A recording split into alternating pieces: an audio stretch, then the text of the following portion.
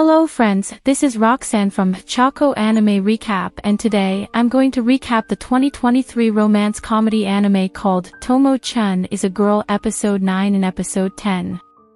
But before that, it's my humble request to every person who is watching this, please like this video and share it with your friends.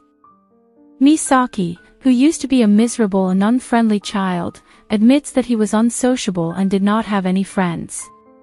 In one instance, Misaki's mother, Mrs. Misaki, informs him that his cousin Carol has come to visit him, but Misaki initially refuses to meet her.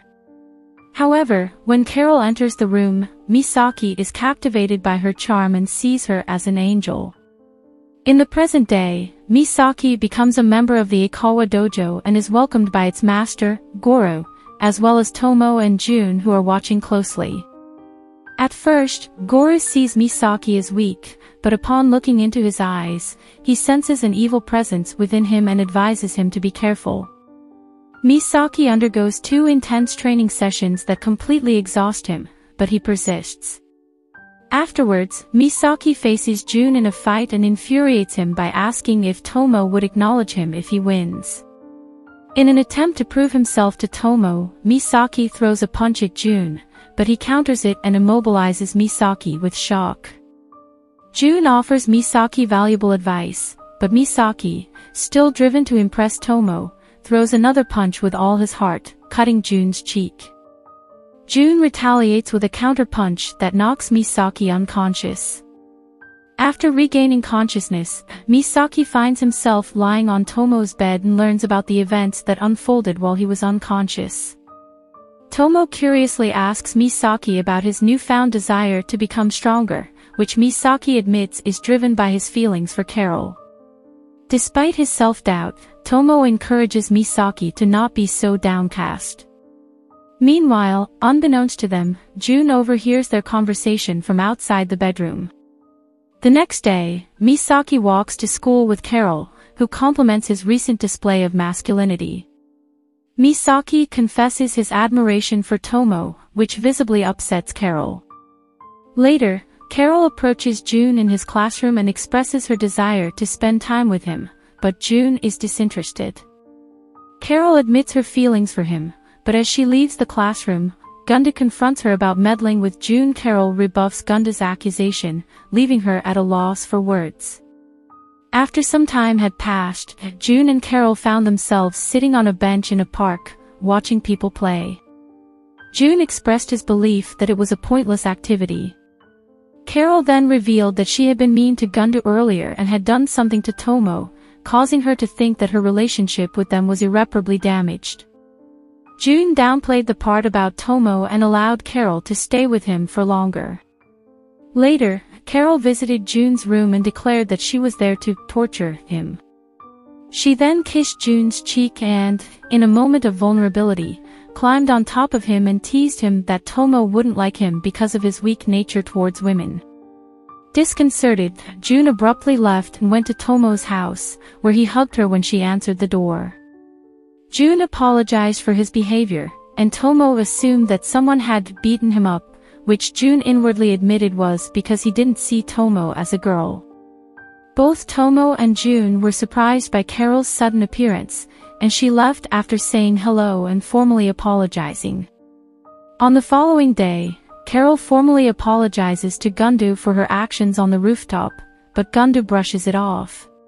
Gundu offers to mediate between Misaki and Carol. In their conversation, Gunda interrogates Misaki about his feelings for Carol, which makes him feel uncomfortable. Nevertheless, Gundu is adamant that Misaki has feelings for Carol and encourages him to be honest. Misaki admits his inferiority complex and his interest in Carol. Gundu then proposes a plan to emotionally distress Carol so that Misaki can comfort and confess his feelings to her. After this, Gundu informs Carol that she has no chance with Misaki since he doesn't see her as a girl, causing Carol to leave school abruptly. Later on, Misaki pays a visit to Carol's house and is immediately headbutted by her mother Ferris upon arrival. After the initial encounter, Ferris allows Misaki to visit Carol in her room, where he finds her sobbing. Carol lashes out at him with her pillow, frustrated that Gundu had lied about Misaki's true feelings toward her. Misaki apologizes and admits his love for Carol, which pleases her greatly.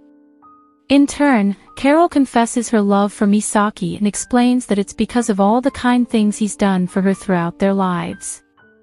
Just as they are about to kiss and embrace, Ferris suddenly appears and puts an end to things.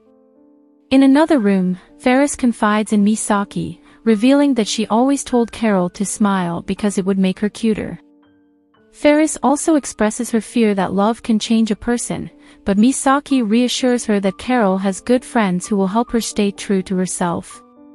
The following day at school, Carol shows up wearing a pink rabbit mask, much to the surprise of Tomo and Gundu. She approaches Gundu, takes off her mask, and claims victory before kissing her on the cheek. As their classmates gather outside, Tomo and June are excited for their school's annual marathon. They brag about their rigorous training and June suggests a bet, whoever loses owes the winner a week's worth of juice, which Tomo accepts. Meanwhile, Gundu and Carol chat while Tatsumi vies for Gundu's attention, only to be ignored. When PE teacher Haneo starts the marathon, he urges Carol and Gundu to run rather than walk. As Tomo and June run on the track, Tomo mentions that she hasn't seen June lately, assuming he's been training for the marathon. They debate on who will win and lose, but their conversation is cut short when Haneo passes them on a scooter. Infuriated, they chase after him. As they approach the girl's turning point, June's excitement wanes, but Tomo doesn't seem to care, as she is more interested in competing with June June has no choice but to agree with her. Further along the tracks, Misaki is jogging alongside some classmates and is pleased with his newfound strength.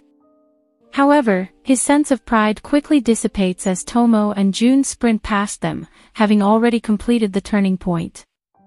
As June and Tomo continue to race ahead, Tomo suddenly collapses on the ground due to a high fever, leaving June to come to her aid. After learning that Tomo had been practicing for the marathon late at night, June carries her on his back all the way back to school. Tomo wakes up in the school infirmary with Carol sleeping beside her and Gundu explaining that she has caught a cold. June then appears with Tomo's things, and Gundu suggests that Tomo take advantage of her situation before leaving with Carol. In a private moment, June hands Tomo a bottle of water and they chat briefly. As June announces his mother's pickup time, Tomo surprises him by asking to be carried to her mother's car. Despite feeling pressured, June agrees and carries Tomo to her mom's car. However, their peaceful moment is interrupted when Tomo's father Goro arrives, holding leeks in each hand, and frantically asks June where Tomo is. June points them in the direction they went, and Goro hurries after them. The next day, June visits Tomo in her room, where she has already fully recovered. Tomo thanks June for his help and returns his handheld game console to him. A flashback shows how June had once defeated Tomo in her father's dojo lesson, though she brushes it off. Goro comments that Tomo has a natural talent in sports, but not in martial arts. As June walks down the hallway on his first day of middle school, he expects to see his childhood friend Tomo in a boy's uniform, but she surprises him by appearing in a girl's uniform. Later on, Tomo shares this encounter with Gundu, while June reflects on his relationship with Tomo in his classroom. Suddenly, a student asks June if he is dating Tomo, which shocks him.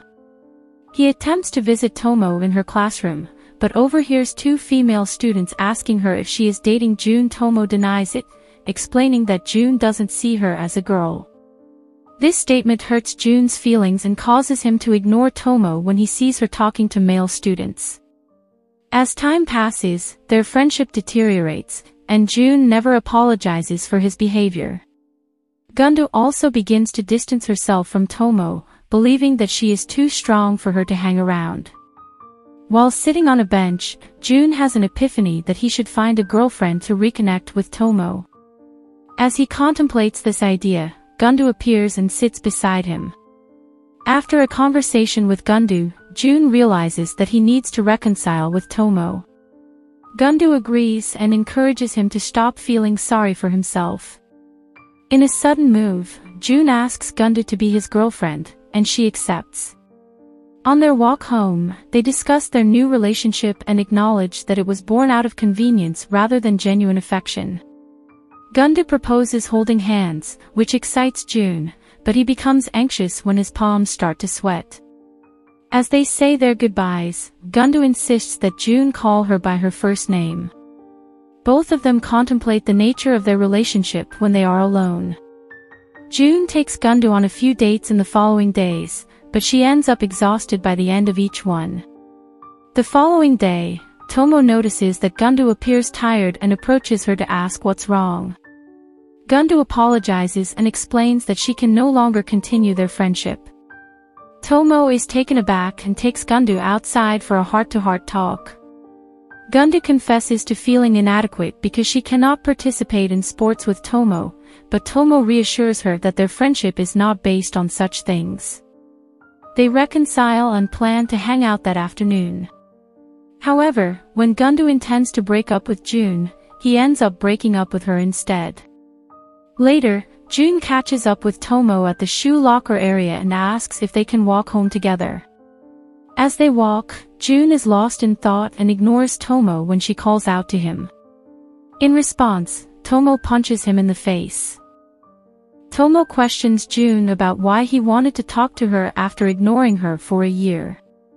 As he tries to explain, June notices Tomo crying and gets punched in the stomach.